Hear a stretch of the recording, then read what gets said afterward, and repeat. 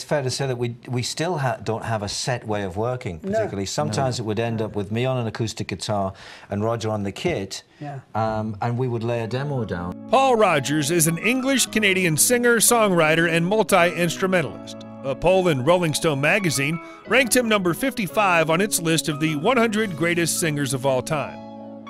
In 2011, Rodgers received the British Academy's Ivor Novello Award for Outstanding Contribution to British Music. Rodgers has been cited as a significant influence on a number of notable rock singers. In 1991, John Mellencamp called Rodgers the best rock singer ever. Freddie Mercury, in particular, liked Rodgers and his aggressive style. And I said, let's just kick off with, uh, if I were the sun way up there, you know. And then everyone went, okay, oh. I think I think we could do this thing. Yeah. If you enjoy these videos, please remember to hit the like button, as it does help us out a lot. And comment below who your favorite celebrity is that you'd love to see in an upcoming video. His full name is Paul Bernard Rodgers, but is also known as The Voice. He was born on December 17, 1949, in Middlesbrough, England, making him 70 years old at the time of this production. Rodgers became a Canadian citizen on October 21, 2011, He's quite content to be enjoying his current life as a Canadian, soaking up the natural splendor of his home in BC's beautiful Okanagan Valley. Rodgers and family have embraced such typical Canadian pastimes as swimming, kayaking, jamming with the sheepdogs, and advocating for Indigenous Canadian wildlife. He's also shown particular interest in the challenges facing herds of wild horses roaming the Okanagan area. Don't think for a moment, however, that Rodgers has lost the drive that's helped him release 27 CDs and sell 125 million albums and earn his position at number 55 on Rolling Stone's list of the all time greatest vocalists. Rodgers says that drive is something he's had since he was an aspiring young musician in his hometown of Middlesbrough, England. He said, When I look back and I left home when I was about 17, I didn't know that I had an agenda. But I did and it was to survive, to find peace of mind, and to make music doing it. And I think that's what I've been doing all this time. The drive comes from a love of music and performing. Rodgers has a child from an early relationship who resides in his hometown of Middlesbrough, England. Rodgers married Michiko Shimizu in 1971 and has two children from that marriage, Steve and Jasmine.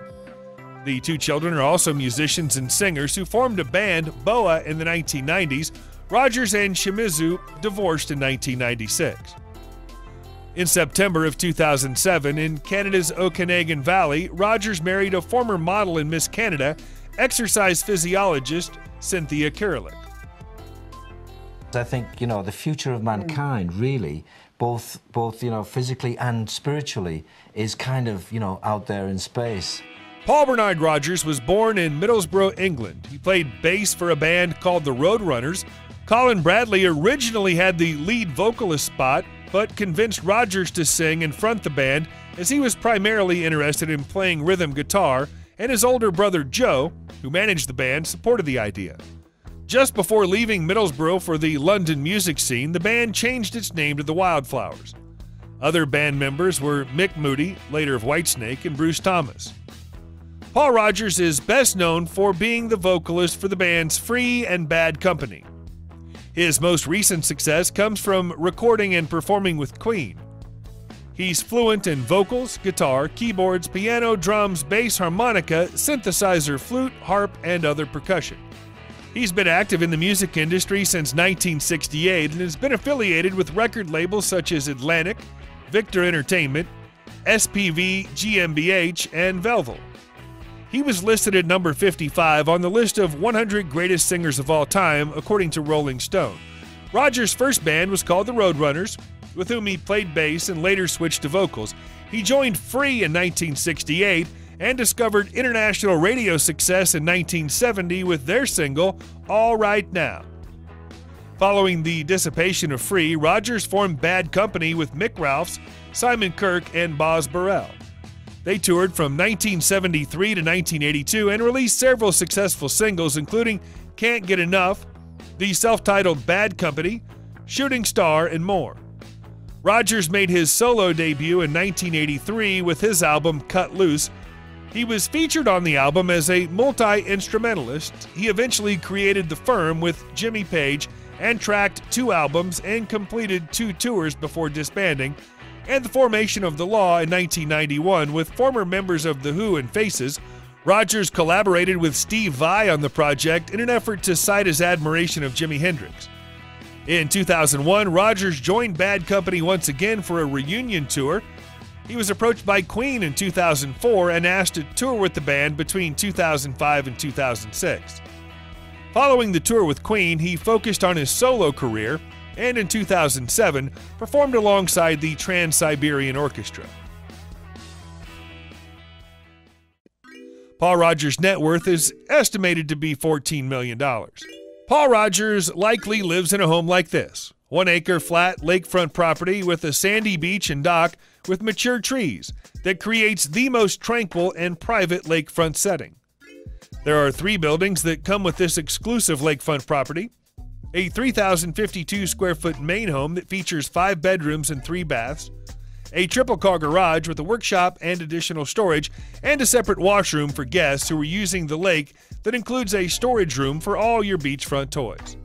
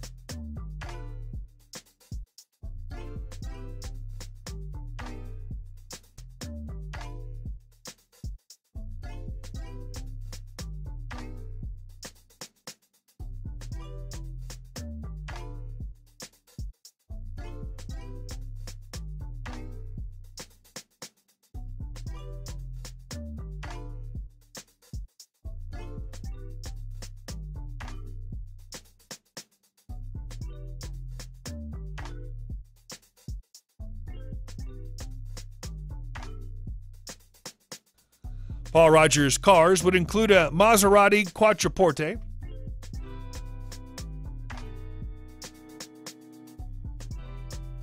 a Ford F 150, a Buick Enclave,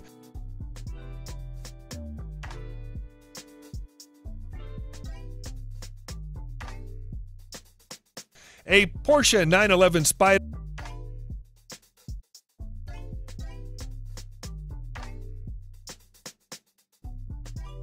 And a Bentley Continental GT.